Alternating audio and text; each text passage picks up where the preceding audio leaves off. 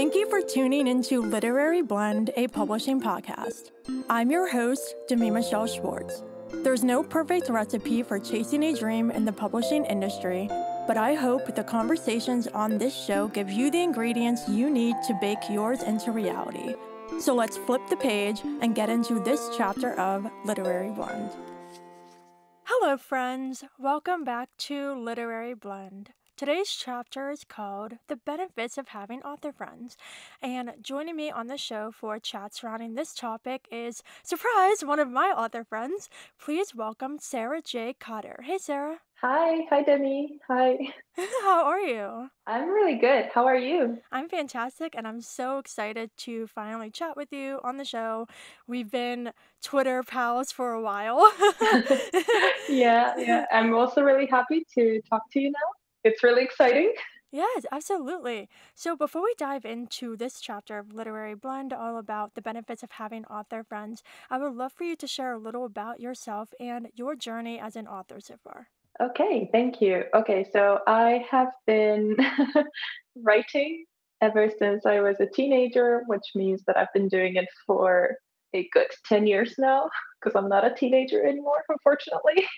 Um, but yeah, I have been an avid reader, a very huge fan of anything that has to do with books and reading ever since I was a child. And then as I grew a bit more, I decided, oh, I want to start creating it as well. I want to start writing. So that's when I started doing it. And it was only recently, about two years ago, when I decided that everything that I wrote, well, I didn't want to publish that, but I decided that it had been sort of preparing me for uh, being published. So that's when I decided I want to write something with the purpose of getting it, you know, out there for other people to read as well. So I've been writing um, for many years, but with with getting published in mind, with becoming an author in mind, uh, for about two years now. Perfect, and we are now agency cousins. we are agency cousins, which is great. yes. Awesome. Literally, like, number one for having author friends, when they blow up your Twitter messages, I got an offer of representation. it's the most exciting thing that could happen to you because you you just look at your phone and it's like oh my god someone is as excited as i am fabulous well i'm so excited for you and i cannot wait to see what happens next Absolutely. likewise perfect so let's dive into our chat for today there are many, many benefits to having author friends, but Sara, what is one of the main ones for you for us to chat about first? So, for me, as you mentioned, there are a lot of benefits, but I think the most important one is having the support of other people, um, other people who are on the same journey with you, because there are no other people who will really understand what you're going through. Of course, you can have family and you can have friends around you who you share with, but ultimately, they don't completely understand the process of it. Uh, they don't understand how taxing it can be uh, trying to break into this world into publishing especially if you're if you're seeking traditional publishing so i think it's the support system that kind of um, you receive once you enter this community that is really important as you start developing yourself in this direction mm, absolutely yeah i think support goes many different ways and yeah. You know, the biggest thing, like you said, is people who aren't in a creative industry, they don't fully understand. And it's just exactly. the people where you tell someone, oh, I got an agent. And then they ask you two seconds later, oh, when does your book come out? I don't know. exactly, exactly. Or they're, um, they're not really aware of what an agent is because, um, well, I'm not from the United States and the way publishing works here, it's very different there are no literary agents uh, in this part of the world, let's say Eastern Europe, uh, or many other countries. Like the concept of a literary agent does not exist. So when I shared with some of my friends that I have an agent now, I got a lot of uh, confused looks first. They were like, hmm, "Why do you need an agent? Just publish your book." I'm like, "Okay, well, I wish it was that easy." Your author friends will be there through the successes, mm-hmm. through the hard times, and it's really Absolutely. nice to have somebody and a group of people you can turn to because you're not alone. Whenever you're getting rejections, your friends are getting mm-hmm. rejections mm-hmm. too. And when exactly. I was querying, literally, like I would tell my friends, I don't know if I can keep going. Like, I don't know. And they will give me a kick up the butt. Like, no, keep querying, keep going. Mm-hmm. And sometimes you just need a friend who understands it to help you get back on your feet again and help motivate you because it is yeah. really difficult, even though we are all facing these obstacles. Yeah. As I as I said before, it's very taxing, and I feel like for other writers who are querying in the process of it, they really do go through the same ups and downs, just like you mentioned now. So when they say they understand how you feel, they really do. they really do know what you mean. Right.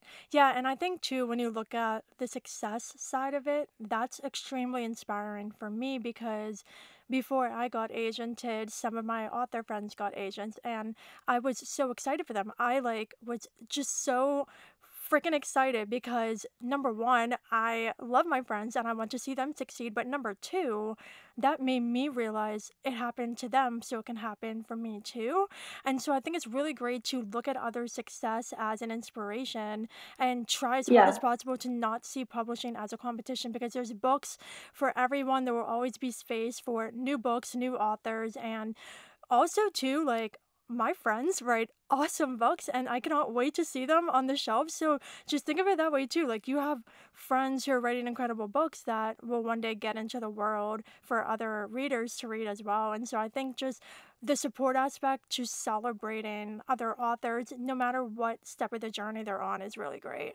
It's really important. And as you mentioned, there are so many brilliant books that are, you know, being written by people around us, by those writing friends that we make along the way. It's not just about waiting to see the book. It's sometimes um, as you make those friends uh, during your querying journey, you also, uh, if you're lucky enough, maybe maybe you befriend those writers, you become critique partners, you start beta reading each other's books, which is also very invaluable, I think, as a resource for um, feedback whether you take it or not that's that's up to you but yeah. personally i have found that um, getting getting comments or general outlooks on my book from other writers who already have experience you know writing and have experience querying and have an idea of what mm, the market is uh, like right now because they may have gotten personalized rejections from other agents or they may have received uh, revision suggestions from agents, that's really feedback that they have. And once they give you feedback on your book, I think it's sort of like a domino effect. You you learn as you go and you learn together. Yes, I love that. Learning together. That's such a beautiful way of putting it because I completely agree with that. I think that the coolest thing is reading unpublished manuscripts.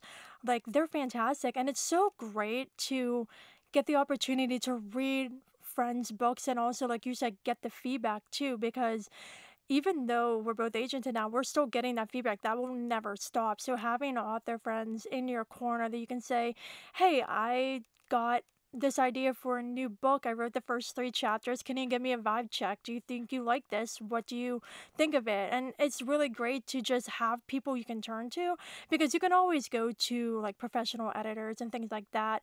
But I think it's really great when you have author friends because sending out your work to people can be a little daunting if you haven't really done it mm-hmm, before. And mm-hmm. so when you have friends in the industry that you've gotten to know and that you trust, I think it's a lot easier to send your work out to them because you know the person and you know that they'll give you feedback, but they'll yeah. also be kind about it because there are horror stories of authors getting just feedback that's so mean that it wrecks their mm-hmm. motivation and their self, you know, confidence and things like that. And yes. when you have friends that yeah. you can trust, they will definitely give you constructive criticism, but also in a very mm-hmm. kind way. Yes, and I think it's uh, really important here to distinguish because uh, in a lot of uh, on a lot of uh, social media uh, platforms, you have the writing community, but you also have reader communities, and I think it's really great when readers reach out and want to like check out your manuscript when you get a reader to read it you get a lot of feedback, but it's more of a reaction. Whereas when you get a writer to read it, you get more suggestions. You get, of course, you get reactions, hopefully. Yeah. But you me also and your get. Uh, manuscript. it was absolutely great. But aside from reactions, you also get the constructive criticism. You you get real suggestions. You're well, real suggestions, real uh, suggestions about the development of your novel. As you begin writing and editing, you sort of learn more about how to develop a novel, how to do the pacing, how to um, express certain things, how to uh, shorten paragraphs, what is necessary, what is unnecessary. And I think having a second pair of eyes on your manuscript, another writer who's already done that, who's already aware that uh, you know an info dump is not always necessary or something similar to that, they can be like, oh, hey, you know, this entire paragraph, you don't need it because we already know that. Yeah. Yeah, no, a lot of great points. And I love what you brought up too about the distinction between having a, another writer reading your work and another reader reading your work because we are both readers and writers, you know, Yes, so we yeah. can take the approach of the reader perspective with the reaction comments and the theories and all of that. That's really fun. And that's the thing too. Like when I get feedback, I love seeing the reactions plus the suggestions because if it was all suggestions, it'd be really overwhelming. So I like how like people leave reactions and positive notes too because it shows that you are doing something right and there's like an engagement level there. But I think it's really Mhm. great because when a reader, just a reader's reading it, their perspective is going to be extremely subjective. Like they're just reading it as a reader, their own personal preference, what's connecting, what's not, Yeah. which is good to know because if that's your target audience, it's good to know if something's working or something's not. hmm But when you look at it from the writer perspective, I know for me, whenever I'm reading books, I may have my own personal opinions for things, but I always try as hard as possible to take a more objective approach and say, okay, I see the author's vision, I see what they're trying to do, and just take a more objective approach. Like, maybe this chapter's too long, split it. Maybe your inciting incident comes too late. So, we know the terminology, we understand the craft. And so, whenever we're giving feedback, it's a lot more direct in terms of the writing itself and the prose itself versus just a reader who is just reading it for enjoyment or like to tell you if they like it, they didn't like it, that kind of thing. Yeah, because I think a reader uh, they they receive your manuscript and they read it as if it's the the end product of the manuscript, whereas the writer knows uh, that there will be probably ten more edits of the whole manuscript, probably another revision, probably five more edits afterwards. So they know that it's it's still a work in progress. Yeah, absolutely. That's a really great point. And the other thing, too, I wanted to bring up with kind of similar in this area that we're talking about right now is that hmm aside from getting feedback on your work, you can also ask your author friends industry related questions. Like if you're Oh yeah. going to query somebody and you're not quite sure, if you get an offer from someone and you haven't really done a deep hmm dive on them yet, or if you're just interested in how a certain part of the process works, if you have friends hmm in the industry that have gone through those different stages and have made connections of their own and have their own networks, you can definitely ask for advice and things like that. And it's really, really helpful. I can't tell you how many people I've turned to to ask, like, hey, have you heard about this person? Or Yeah. what do you think about this approach? That kind of thing. There are so many different things we can ask our author friends to get a pin. That's exactly the same thing that happened with us when I asked you about the agency that we're now in. Yeah, you're absolutely right because there is a learning curve, and as you begin, you don't really have that much knowledge. And when you connect with authors, some other writers who have been on this journey for a bit longer than you, then they probably know what's going on. They know what is considered normal or what's considered um, suspicious or uh, Shady. sketchy. So you can always take what others say with a grain of salt, but it's um, you know chances are that those writers who have been doing this a bit longer, uh, they probably know how it goes and they can teach you. Because, for example, when I first started querying, I I didn't really fully realize how tedious and difficult it was going to be. I kind of just um, dove right into it without doing uh, much research, which I now realize was such a horrible mistake because then I joined the writing community and I was more active on Twitter and I was reading what other writers were saying, querying writers, and I found out so much about different resources, um, such as uh, you know manuscript wish list. Because up until that point, for example, I had a few agents that I I had put down in an Excel sheet, and I had only checked out their agency websites, which is you know it's also okay. But then I realized, oh my God, there is a query tracker, there's query manager, there's publisher marketplace, there's manuscript wish list, and so many more other um, ways to find out more about that agent that you're about to query. And that is something that I did not know in the beginning. That's something that I learned with time. Yeah, no, same as me. As soon as I graduated with my MFA, I like jumped right into querying, which was a massive mistake, not only from like lack of research, but also I was not ready to query. Like I should have done another revision. My query letter wasn't good. My synopsis was a hot mess. Like, and that's the other thing too with having author friends, not only with reading manuscripts, but I can't tell you how many times, like when I was querying, I had my friends look over my query letter or I read query letters for them. You can definitely get into that kind of material as well if you're still in the querying process to get people to look at hmm your query letter, get people to read your synopsis, and look over your Yeah, agent list if you're not sure if there's any red flags on there. You want to avoid that kind of thing. absolutely. Because there are also a lot of writers who are uh, younger. I've noticed in the bios of authors on social media I am assuming not everyone can afford to, for example, hire an editor to look over those query materials. And in this case, I think it's also a huge benefit to have others uh, in your circle who are doing the same thing because then you can exchange those materials and you can you can tell your friend you can be like hey you know i love your book because i've read your book but the essence of the book i don't see it in the query letter which is a pity because you know it's it's this exchange of resources and uh, constructive criticism and and advice and it's so invaluable. It's so important to have it especially in the beginning as you learn.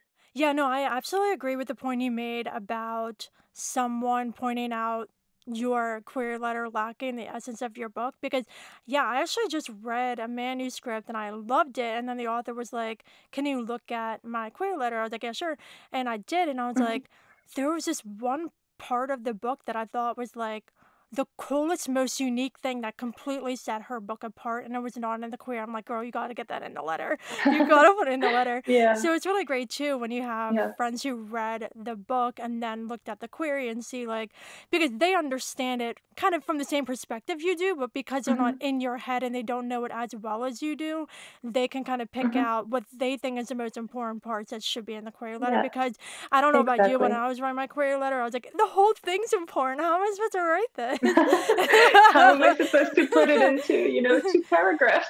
It's impossible.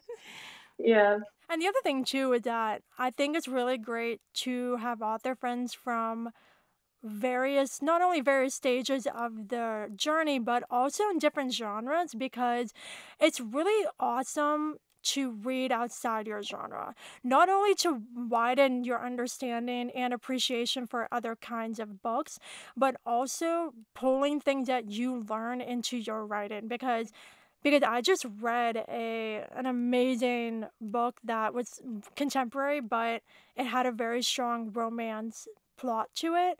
And I personally don't write romance, but I love to put romantic subplots in my stories. But I was like, man, like she really nailed the romance in this. And so when you read outside your genre and you read your friend's work outside your genre, you can pick up on things that maybe maybe you're not that great at sensory language, but your friend is like the best at sensory details then you can learn things from them as well. Yeah, yeah. I think it's really inspiring in that in that sense to what you just mentioned, reading other genres because uh, you know there are fantasy books, there are romance books, but I think just as you mentioned, there are usually subplots, whether it's uh, you know action or romance or or thriller or something.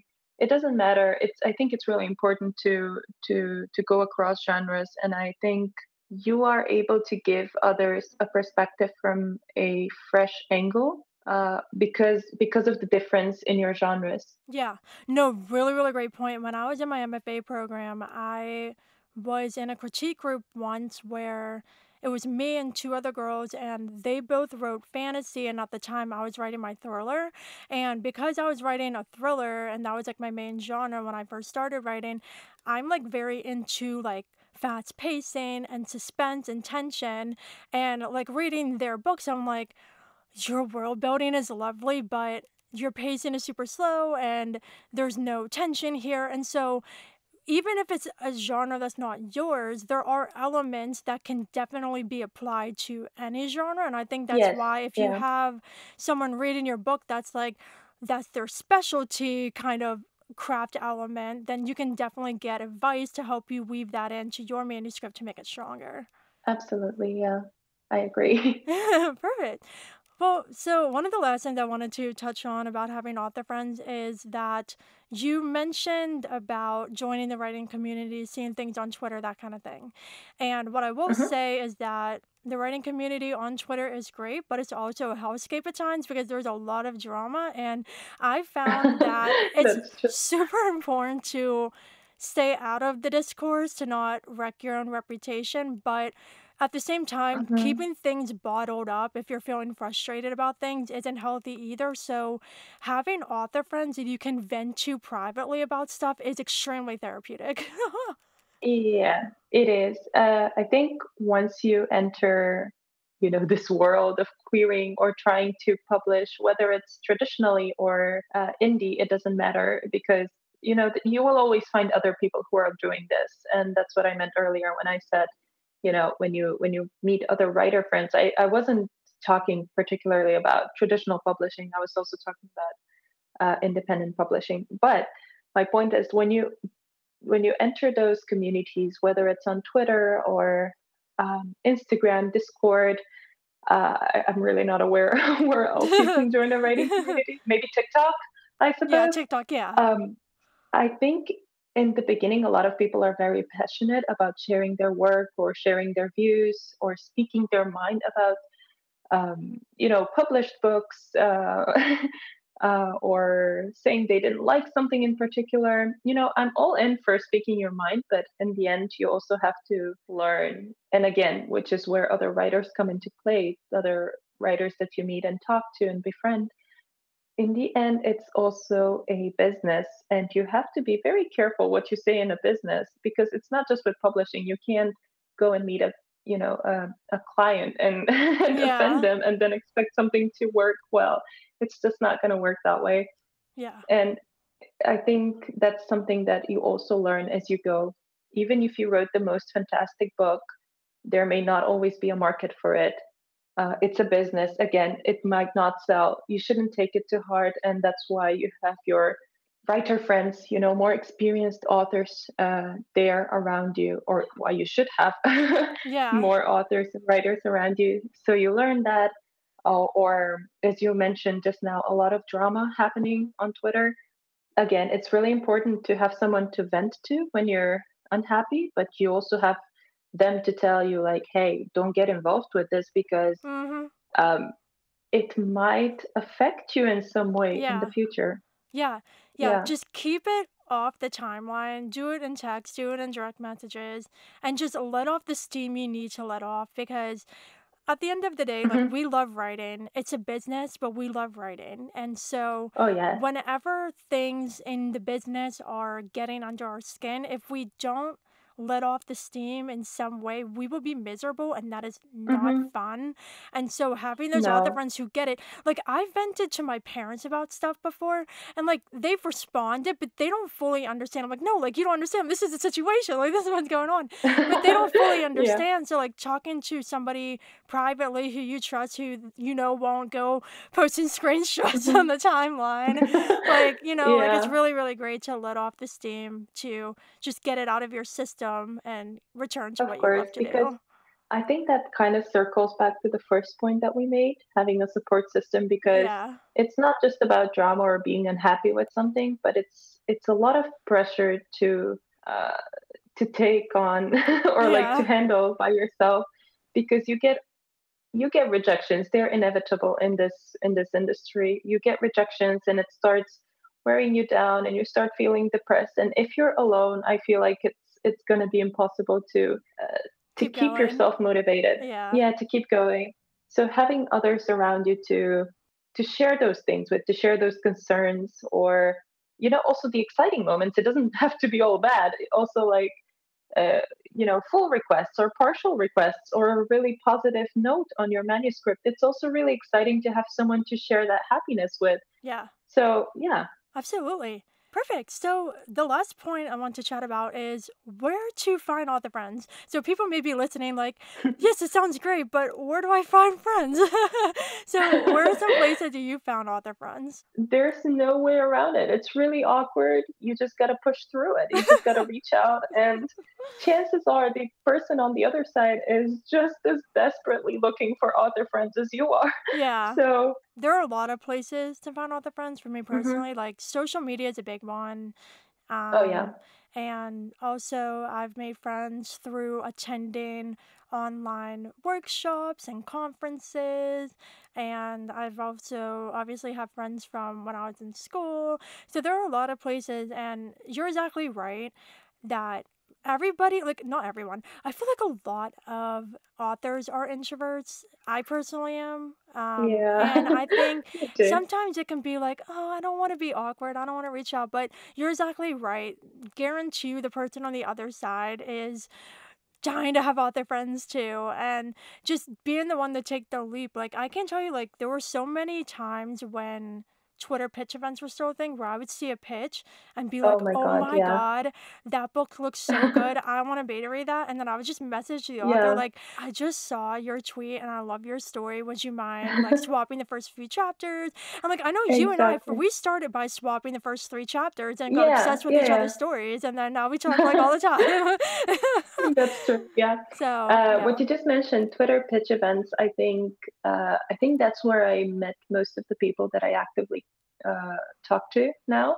Yeah. And it's exactly the way you described it. I had uh, people respond to my uh, mood board or my pitch, and they said, "Oh my God, this sounds great!" And then I had someone uh, send me a message uh, suggesting that we swap chap- uh, chapters, and I was like, "Oh my God, people actually do that!" because, um, as you mentioned, the other things, for example, school or conferences. What I can say about this is that. Um, for writers who are not in the United States, of course, there are uh, less opportunities, let's say, to do those things in person or even online because of the time differences. So, for me personally, it's been mostly social media. Yeah, no, that's really great. And Mhm. that's the beauty of social media. There are so many Yeah. downsides to it, but at the end of the day, it's a really great tool to network and not only yes. with authors, Yeah. but make connections with agents and editors too, because you never know what's going to happen down the road. And so,